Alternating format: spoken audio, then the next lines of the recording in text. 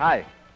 I'm Sonny Fox, and these are my friends and fellow adventurers. This is Ginger. Hello. This is Pud. Hi. You know, each week Ginger and Pud and I take a trip to different and exciting places. And this week we're at a very exciting place. It's called Greenwich House Pottery. And here come people from all walks of life, all ages, youngsters and adults, and they're all brought together by a piece of earth. That's right. A piece of special kind of earth called clay. And when they come here, they take this clay and they make it into all kinds of very beautiful and very useful objects. Pitchers and vases and, and uh, ashtrays, things of that sort. All around us now, they're at work. And not only do you have um, amateurs, students, but you also have professional artists like Mr. Crumrine over there. Uh, James Crumrine is, an, uh, is uh, an instructor here. He's also an internationally known artist when it comes to making beautiful things out of clay. Now, before we leave here, we're going to see Mr. Crumrine take a piece of clay right from its raw stage and uh, work it into a very beautiful picture. We'll see that whole thing take place before we leave. Now, uh, right now, though, let's go over and meet Miss Hartsook over there, Miss Jane Hartsook, who is the director of Greenwich House. Hi, Miss Hartsook. Hello. This is Ginger. Hello, Hello. Ginger. Bud. Hi, Hi, how Bud. How are you? Now, I was telling them about all the things that you do down here, all the things that you make. But all these things start from what you got in your hand there, this uh, lump of clay. Is that right? Yes, that's a piece of earth, but a special piece of earth because it's nice and pliable. But we have first have to get it worked well in this nice pliable condition before Don't you we start here? No, we start in the wedging room where we store our clay, And that's where they do what? where they wedge the clay and get it in, in condition to get the air bubbles out of the clay. Oh, well, why do they have to get the air bubbles out of the clay? Well, if there was an air bubble in it and you fired it, it would blow up. Just Well, be wasted work then. That looks like a lot of fun. Would you like that to clay throw down. clay like that? Yes. now, how do they know when there are air bubbles in it? Well, you see, you cut it on the wire, and there's a, an, if you see an air bubble, why then you uh, have to re-wedge it again. now, when it's Yes. all ready for, uh, when it's finished there, it's ready for working. Is that right? Yes. And then it's when it comes into this, this is your main studio, I presume, where these boys and girls are at work here. Yes, and the- where we have the wheels and they're working at the tables. And you see Pud and Ginger uh, just all around the room. There are all kinds of things being made by all kinds of people. And they all start from that same piece of clay. And I suppose Mr. Crumrine starts the same way. Yes, he does. He's wedged his clay and is ready to throw on the wheel. Throw it on the wheel. yes, he throws it down on the wheel head. Well, now, before he does anything to that, uh, that clay, let's take a look at the wheel itself, Pud and Ginger. Uh, you notice if you look down there that that's not operated by electricity. No, he's kicking it. Right. And that's a very special kind of a wheel, too, isn't it, Miss Hartsook? Yes, that's a, a potter's wheel. This big wheel at the bottom is heavy and well balanced so that it keeps its momentum while he's working on it. And then Of course, that's a big piece of clay and he has to put a lot of pressure on it. That's all connected, you see. The bottom wheel's connected with that um, shaft up to the top of the wheel there, where he's now working on the clay. What is he doing? Now he's going to, he's centering it, and now he'll open the uh, inside. See, he's making a big hole in the middle. And you have to go in the middle so it'll be even all the way around. Now you'll see that he's bringing up the walls of the clay. Oh, clay. it's growing. It's bigger and bigger all the time. What about the water he keeps on pouring on there? Well, that's for lubrication so that his hand doesn't stick to the clay and tear it. Now, as it gets thinner, it's more delicate and is likely to collapse, so you have to be very careful and come up slowly while the wheel is going around. The shape is done from both inside and outside. Yes, so that the inside is the same shape as the outside. Well, Pud and Ginger, that uh, process he's involved with now, Mr. Crumrine's involved with, goes on for quite a while. And um, I think what we'll do is we'll look at some of the other aspects of, of making this kind Okay. of uh, artwork and see how so we'll come back to Mr. Crumrine a little later.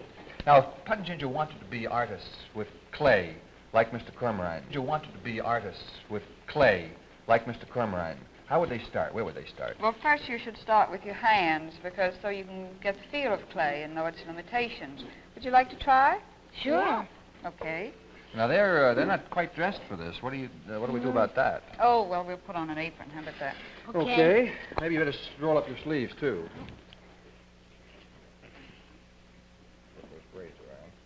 Would you tie my apron? Yes, Sonny? ma'am. Go ahead.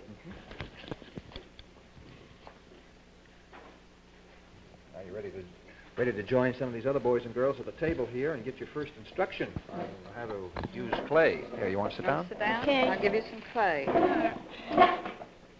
I notice you keep it uh, in a plastic bag. What's the purpose of that? We have to keep it damp. See, the heat from the room would dry it out and make it crack. That's important for anybody who has clay at Now home, you too. want to to start with a nice round ball, like a baseball.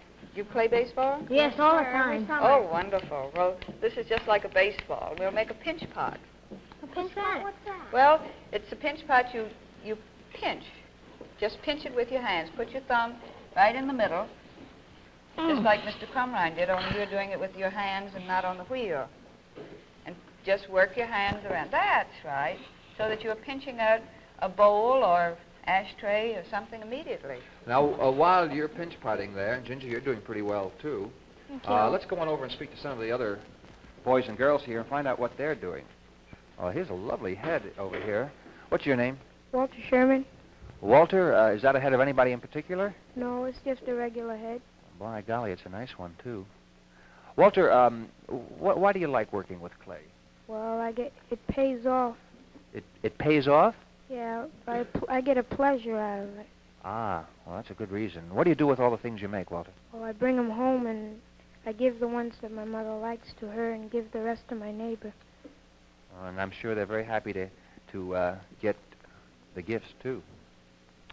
Well, good luck on that, Walter. I think you're doing fine. What's your name? Jan Stacy, Jan, what are you making? an ashtray. Jan, uh, how many um, things have you made? Uh, do you can you think back of all the things you've made here? How many do you suppose you've made? I don't know, Well, take a guess. 25 maybe? hmm What are they? Have they all been ashtrays? No. What have they been? Pots and pans, ashtrays. Who do you give all these things to? My mother, Does she use them? yes. Has she ever had an accident with one of your pots or pans, Jan? Has anything ever happened while she's been cooking with them? Um, nope. Never any of them ever exploded or broke or anything like that? Nope. Are you sure? Yeah. Okay, I'll take your word for it. Gotten the air bubbles out. yeah, all the air bubbles were gotten out. Now, what's your name? Kim Resnick, Kim, how long have you been coming down to Greenwich House Pottery? since this year started? Uh, do you like it? Yes. What's the favorite thing you've ever made? I don't know. Well, just think about it a little bit. Isn't there something that you've made that you like more than anything else? No. What's what's what do you like to make the best? Everything. Well, that's uh, takes care of that. hmm Now, what is she making over there that looks like a snake? Well, now that's the coil piece, which is the next step from the pinch pot so that you can make a bigger pot. She'll put the coil around the piece on the edge, all the way around the top edge, and then weld that on good so that it doesn't crack off in the firing or glazing. That's so you can build it up just as high as you want. Yes, because you're in a pinch pot, you can't go very far. But that could be a tremendous piece. Well, Pud and Ginger, incidentally, while all this is going on, you know, at this table, there are other people working around, as we told you before, and some of them are real artists. Now, for instance, look at that sculpture over there. Isn't that very beautiful? I always thought statues were made out of stone and metal.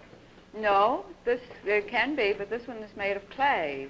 This is Hilda Needleman, one of our um, good students, who is making is built it up from clay, just like you're building up the pinch pot. Only she's going a little bit further.